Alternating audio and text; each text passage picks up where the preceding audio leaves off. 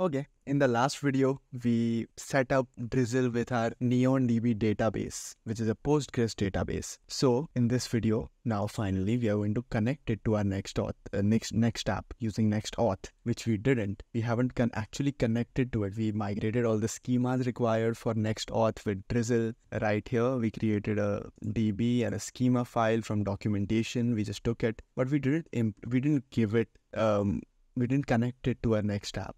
That's what we're going to do now. We're going to connect it to our next app. Let's go to our NextAuth documentation and check out how to do it in Next 13. I don't know how to do it. Okay, if you're using Next 13.2, so we are using more than Next 13.2, so we'll have to go to their guide. All right, so this is handling it with Next 13. So we'll have to create this right here. So we'll do that. Let's copy this path here directly so we can just paste it in our app. Go to app, Let's create a new file and paste this path right here. Done. And over here, we will take this and we will paste it. Let's remove that. We don't even have next dots. Let's stop everything.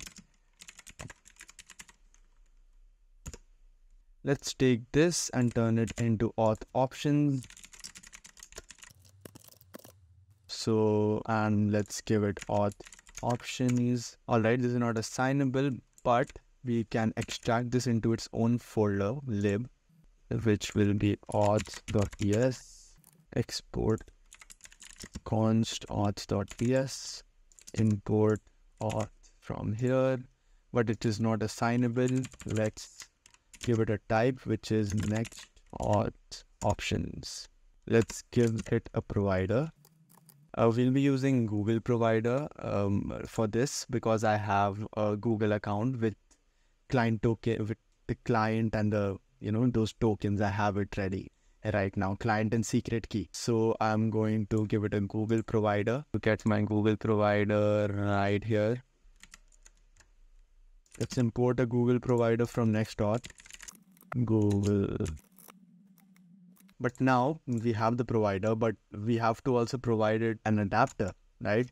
Uh, how will it contact our database? So we'll use an adapter right here and it is PG as GitHub Copilot is telling us, but it is not exact. So let's add, let's see if there's a Drizzle provider. There doesn't seem to be a Drizzle adapter right here. Where do we get the Drizzle adapter from? We'll have to add this right here. Let's check out the documentation again. And there it is. There is the Drizzle adapter. Let's add it. And from this right here, we can then get the Drizzle adapter. Now this is going to cause some type issue. We can just ignore it right now. TypeScript gives us some errors sometimes that we might as well ignore. So uh, I've done this before, so I know that this is this can be ignorable. There's just some mistake in the code, uh, the Drizzle adapter code, and now it works. But Drizzle adapter won't work without any database connection to adapt to. You know what I mean? Uh, so you also have to give it a DB. So we take the DB and we'll give the DB right here from our.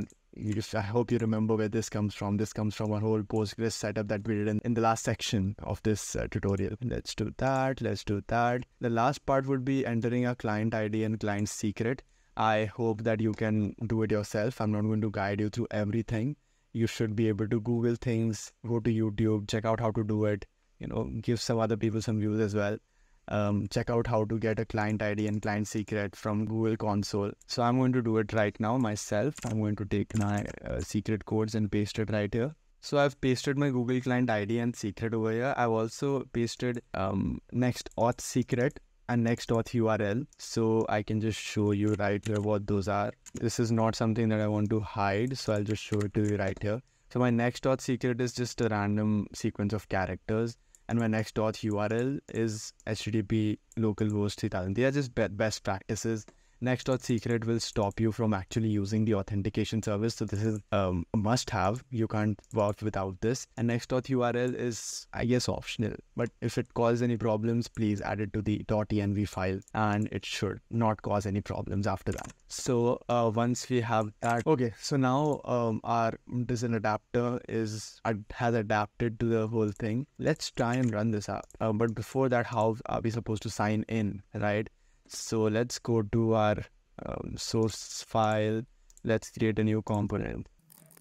we since we are not using client components anymore, we also have to specify where we will where the sign in page will live and where the sign out page will live, you know, things like that. So let's uh, give it that as well. So let's just pages and sign in can be at auth sign in or just sign in will work. Let's go to our app directory and create a new page, which is basically, let's give it, store it under auth and then we will use a sign in folder which will have a page.tsx and that should create a new page in the sign in. Let's create a new component right here which is going to be sign in. I'm going to get my sign in component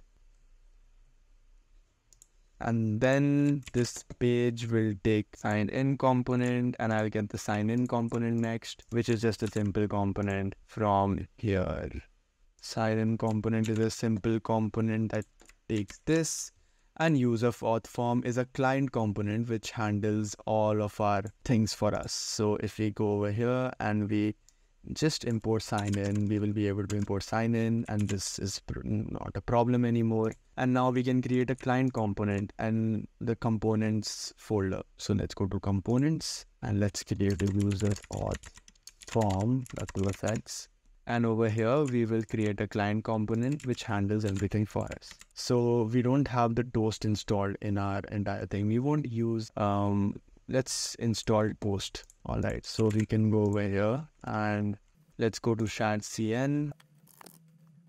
Let's run our executable that will install our component for us. For this to work, we also need to add a toaster to our uh, main layout. So let's go to our main layout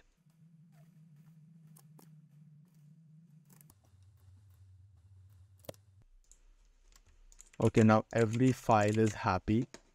So let's run our app again. Let's go to our main page. Let's remove everything that the Next.js boilerplate gives us. And in the main page, we will use our sign in component basically, which will guide us to the sign in page that we just uh, created. Let's add the link from next link, get the button from shadcn, and uh, hopefully if everything goes right, you will be redirected to our Next.js page. A Next.js sign in page, which will sign us in. Uh, before I forget, of course, uh, also we should go to lib auth and we should also export function get um, auth session be a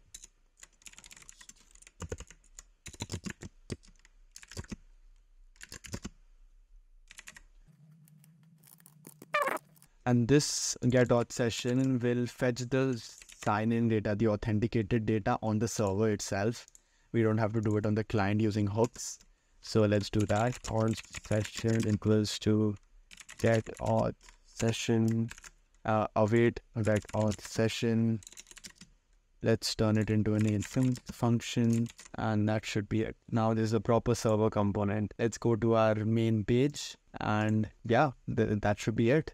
And let's use B and yeah, I mean, that's a good guess. Let's refresh it.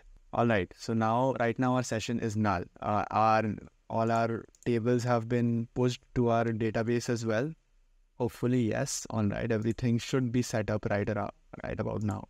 Let's hope for the best. Let's sign in. Okay, now we are directed to the sign in page. As you can see, let's sign in with Google.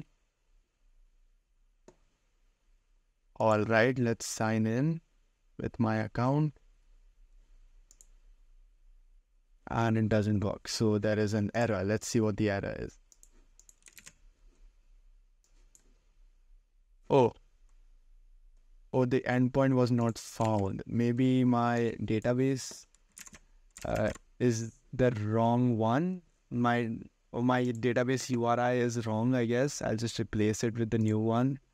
This is the old one and what I just remembered is that I haven't given it a secret either. So let's give it a secret which is not auth secret. It is secret. Uh, just for the sake of it, let's import .env as well. .env.config and that should take care of our environment variables. And let's try that again. Let's restart our server. We also didn't mention a session strategy as in how to store our um, token but let's try it. Nevertheless let me go to another page and let me try it. Sign with my google account and let's see if that works. All right see that that was a problem. I haven't even used a session strategy or anything like that. I haven't enforced it at least. And it just works. It just works. It just doesn't want it. But the problem is it just gives name email and image to our uh, whole thing. We don't we need more than that. We need to add a username. We need to add um, i guess an id i need the id of the user as well um, so that's yeah, I, I want I want those things. How am I going to do that, right?